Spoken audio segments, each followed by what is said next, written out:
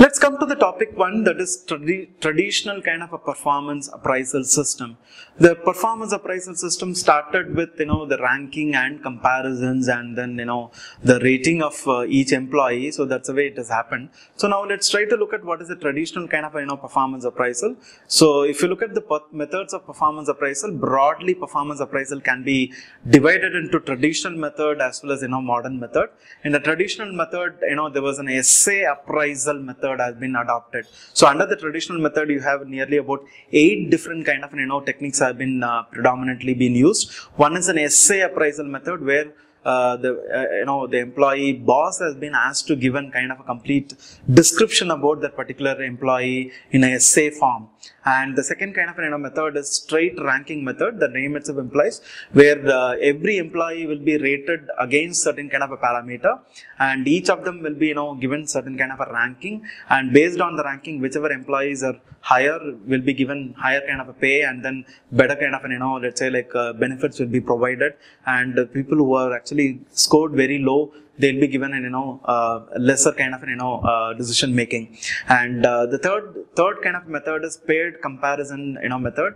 Paired comparison method is nothing but you know we try to look at about uh, the comparisons between different employee.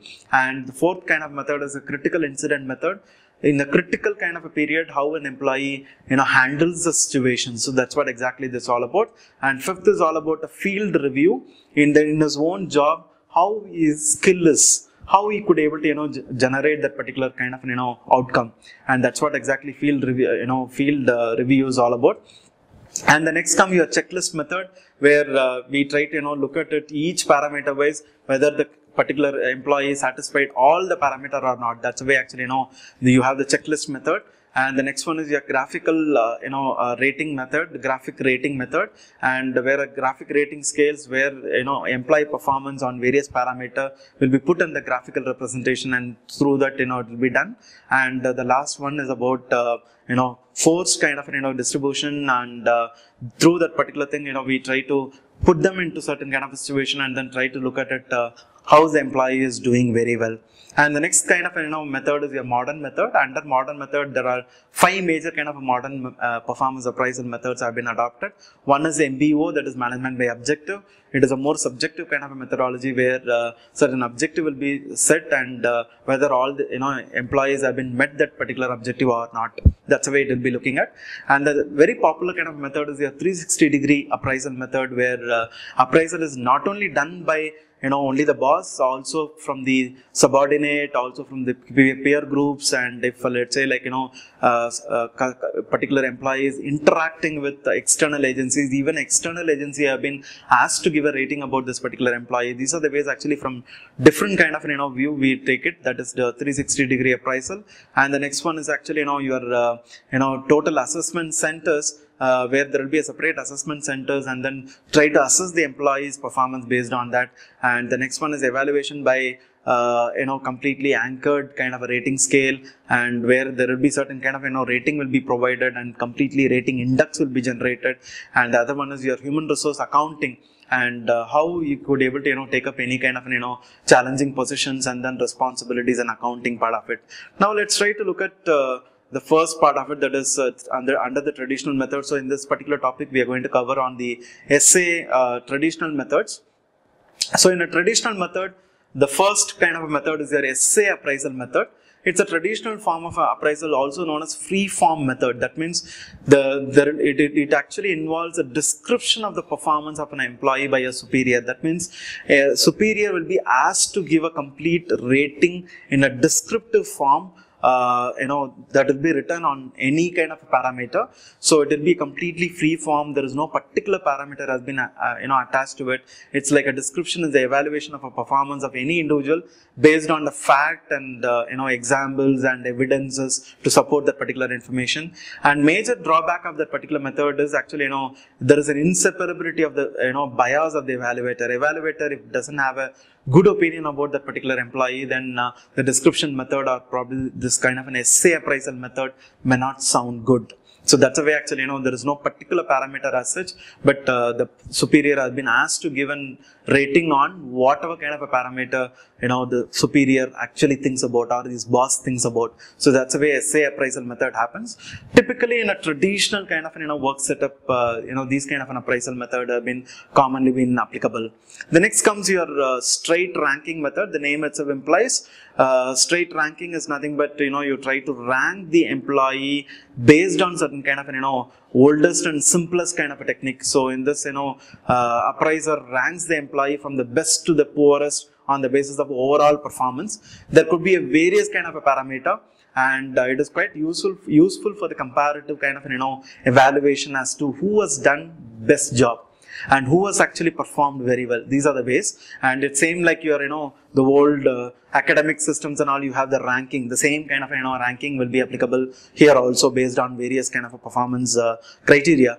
Now let's try to look at paired comparisons. Uh, paired comparison is nothing but, you know, it's a kind of a better technique of comparison than the straight ranking method where uh, each employee has been compared with all others in the group uh, one at a time. That means, you know, one employee will take it with entire all of the departments all the employees will be compared with that particular one employee. And after all the comparison on the basis of overall comparison the employee have been given a final ranking. So this is the way actually you know paired comparison works. This is quite better method than the ranking method because ranking method uh, irrespective of uh, their positions you know the ranking can go very well for certain kind of positions. And for certain kind of positions the ranking may not go well because of the various kind of you know uh, what do you call it as the you know discrepancies or probably various other limitations are involved in each positions. Whereas the paired comparisons will give you kind of a correct idea as to you compare with one employee with the your own team or their the particular employee team. So try to you know look at it. And similar way for all the employees one employee will be compared with all the people's employees you know uh, comparisons. So that's why actually you know paired comparisons where uh, everybody have been put under the same kind of conditions under which we try to you know probably evaluate how they are doing better job. So now third, we'll come to the you know fourth kind of a method uh, that is a critical incident method. In this method, the performance appraisal and evaluator rates the employee on the basis of critical events, how employee behaved during that particular incident. Say it could be you know both negative as well as uh, positive point. We'll be looking at it. Actually, you know the business will not go under the same kind of situation every time every time you know it, it will go through different kind of you know ups and downs during an ups and downs how is the employee behavior? How is this actually reaction to that particular incident both positive point as well as negative point will be taken the drawback of this particular method is supervisor has to note down the critical incident and they should have recorded properly. If it is not recorded properly, that employee behavior, keeping a track will be very, very difficult. Now we'll come to the next uh, topic uh, that is field review. When we talk about field review, it's nothing but in this method, senior member of the human resource department or a training officers discuss the interview of the uh, interviews the supervisor to evaluate the rate uh, their respective you know subordinates. And uh, it's something like you know go to the field and then try to review about uh, you know method as to you know what is the kind of a, a way actually entire the team is going on how the employees have been motivated by the uh, you know superiors or a boss. And uh, these are the ways actually they collect the data practically going to the field area but one of the major drawback of this particular method is uh, very time consuming kind of method. It's not possible all the time. And uh, that's why actually, you know, but this uh, method helps you in, you know, understanding the superior's personal bias because uh, uh, practically they look at the actual performance of an employee when they visit to the field. The next one is actually, you know, checklist method.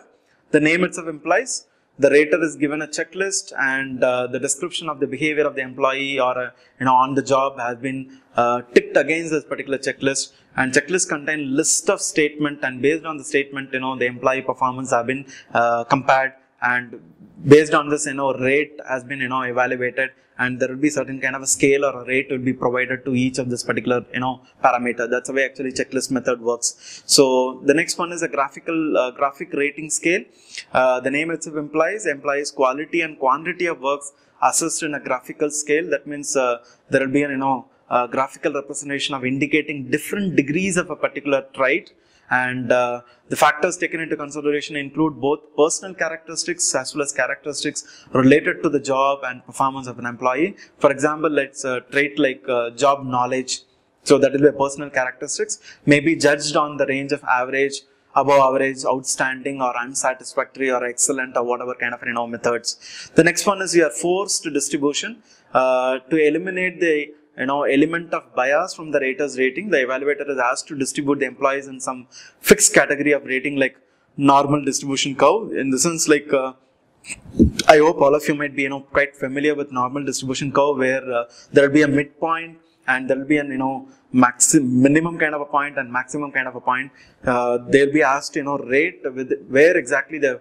uh, you know the employee falls under whether he exceeds the expectations or he is below the expectations. That's the way actually, you know, using a normal curve, we try to, you know, probably put it under uh, this way. The rater chooses the appropriate fit for the categories on their own discussions, uh, own discretions. And this is another kind of, you know, popular kind of method, uh, you know, we can able to, you know, uh, we can do it, but it's a very vague kind of a method. Very specifically, we may not be able to point out. We can only point out that whether the employee is within that expectations or exceeds expectation or below the expectation. Only three level we can able to you know find out. So these are the ways actually you know traditional kind of methods of performance appraisal methods have been followed.